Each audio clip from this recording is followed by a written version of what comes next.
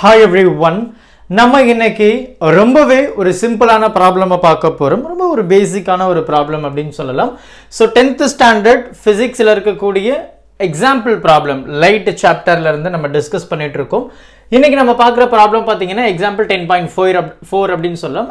Two centimetre டால் object அப்போ தெளிவாக தெரியுது ஆப்ஜெக்டுடைய ஹைட் டால் ஆப்ஜெக்ட் வந்து என்னது? டூ சென்டிமீட்டர் அப்படின்னு சொல்லி நமக்கு கொடுத்துருக்காங்க. Two centimetre so is placed perpendicular to the principal axis of the convex lens okay convex lens so இப்போ எல்லா கேஸ்லையுமே பார்த்தீங்கன்னா நமக்கு ரியல் அண்ட் இன்வெர்டட் இமேஜஸ் தான் இமேஜஸ் தான் கிடைக்க போகுது. இன் பிட்வீன் நம்ம ஃபோக்கல் லென்த்துக்கு முன்னாடி பிளேஸ் பண்ணும்போது நமக்கு சேம் சைடு இமேஜ் ஃபார்ம் ஆகும். அண்ட் அது பார்த்தீங்கன்னா வர்ச்சுவல் அண்ட் இரெக்ட் அப்படின்னு நமக்கு தெரியும். கேசஸ் அந்த கண்டிஷன்ஸ் இமேஜ் ஃபார்மேஷன்ஸ் அந்த ரே டயக்ராம் எல்லாமே நீங்கள் படிச்சிருப்பீங்க கண்டிப்பாக ஸோ அந்த வகையில் ஹைட் வந்து கேள்வியில் கொடுத்துருக்காங்க. Perpendicular to the principal axis of the convex lens of focal length ten centimetre அப்படின்னும் கொடுத்துருக்காங்க. என்ன கேட்குறாங்க the distance of the object from the lens நல்லா கவனிங்க. டிஸ்டன்ஸ் ஆஃப் தி ஆப்ஜெக்ட் அப்போ u so fifteen centimetre obviously object பார்த்தீங்கன்னா நமக்கு negative தான். அதில் டவுட் இல்லை. கான்வெக்ஸ் லென்ஸினுடைய ஃபோக்கல் லென்த் பெரும்பாலும் நமக்கு ரைட் ஹேண்ட் சைடு வரும். ஸோ அதை நம்ம பாசிட்டிவாக கன்சிடர் பண்ணிக்கலாம். Maze of now find the nature position size of the image also find its magnification அப்போ என்ன கேட்குறாங்க வி கேட்குறாங்க அதனுடைய nature we will find and size h dash right and also find the magnification அப்படின்றது நமக்கு தெளிவாக கேட்டிருக்காங்க. ஸோ இது எல்லாமே அப்படியே ஒன் பை ஒன் அழகாக நம்ம வந்து கண்டுபிடிக்கலாம். So first we will find what is v so what we have one by f which is equal to one by v minus one by u சரியா? அண்ட் இதை நம்ம அப்படியே சப்ஸ்டியூட் பண்ண போகிறோம் நமக்கு எஃப் தெரியும். நமக்கு என்ன வேணும்? ஒன் பை வி தான் வேணும். அதனால் வியை மட்டும் அந்த பக்கம் வச்சுட்டு இந்த யூவை இந்த பக்கம் கொண்டு வந்துடலாம்.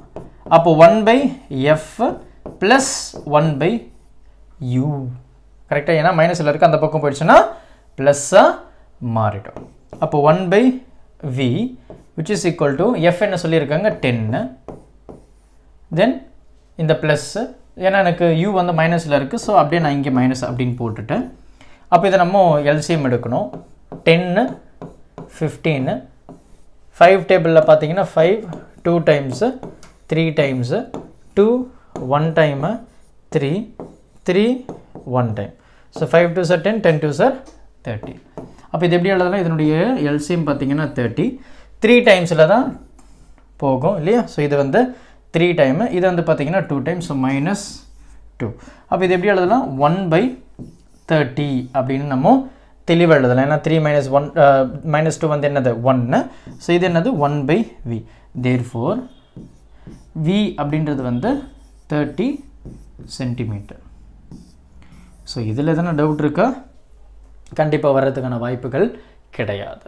ஸோ வியை வந்து நம்ம கண்டுபிடிச்சிட்டோம். அடுத்து நமக்கு ஹெச் டேஷ் வேணும். ஸோ மேக்னிஃபிகேஷன் அப்படின்றது என்ன? M which is equal to h dash by h since this is lens v by யூவோட நின்றுச்சு. இப்போ நமக்கு வந்து என்ன வேணும்? ஹெச் டேஷ் வேணும். அப்போ இதை மட்டும் இப்போதைக்கு நம்ம கன்சிடர் பண்ணிக்கலாம். அப்போ கன்சிடர் பண்ணோம் அப்படின்னா h dash which is equal to v by u and multiply by h so இதிலிருந்தே நமக்கு வி வந்து பாசிட்டிவ் பாசிட்டிவ் அப்படின்னு சொல்லும்போது நமக்கு ரொம்ப தெளிவாக தெரியுது. எனக்கு இமேஜ் வந்து லென்ஸினுடைய அந்த பக்கம் ரைட் ஹேண்ட் சைடு வந்து கிடைக்க போகுது. ஸோ அதனால் வந்து அது positive and real and inverted it is inverted அப்போ அந்த இன்வெர்டட் நம்ம வந்து ஹைட்ல இருந்து ரொம்ப தெளிவாக கண்டுபிடிச்சிக்கலாம். We will see what it is so h dash v நமக்கு என்ன கொடுத்துருக்காங்க? Just now we found that is thirty centimetre u பார்த்தீங்கன்னா நமக்கு கேள்வியில் சொல்லியிருக்காங்க minus fifteen right and h பார்த்தீங்க அப்படின்னா height of that object two centimetre அப்போ பார்த்தீங்கன்னா இந்த fifteen one time fifteen two time கரெக்டா அப்போ இந்த மைனஸ் இருக்கு. அப்போ H dash which is equal to minus two into two four centimetre இதுவும் தெளிவாக நமக்கு தெரியுது. கரெக்டா அப்போது எனக்கு இமேஜ் வந்து ரைட் ஹேண்ட் சைடு கிடைக்குது. So positive real and inverted அப்படின்றது நமக்கு தெரியும். ஸோ அதை வந்து நம்ம ஹைட் ஆஃப் தி இமேஜை வச்சு நம்ம கண்டுபிடிச்சிடலாம். மைனஸ் ஃபோர் சென்டிமீட்டர் அப்போ கீழே இருக்குது பிரின்சிபல் ஆக்சஸுக்கு கீழே ஒரு ஃபோர் சென்டிமீட்டர் ஹைட்டில் வந்து இந்த ஆப்ஜெக்ட் வந்து இருக்குது நமக்கு ஆப்ஜெக்டுடைய சைஸ் பார்த்தீங்கன்னா டூ சென்டிமீட்டர் எனக்கு இமேஜுடைய சைஸ் பார்த்தீங்கன்னா ஃபோர் சென்டிமீட்டர் அப்போ இட் இஸ் என்லார்ஜ்டு பெரிய இமேஜ் தானே? ஆப்ஜெக்டை விட இமேஜ் வந்து பெருசு. எத்தனை மடங்கு? ரெண்டு மடங்கு.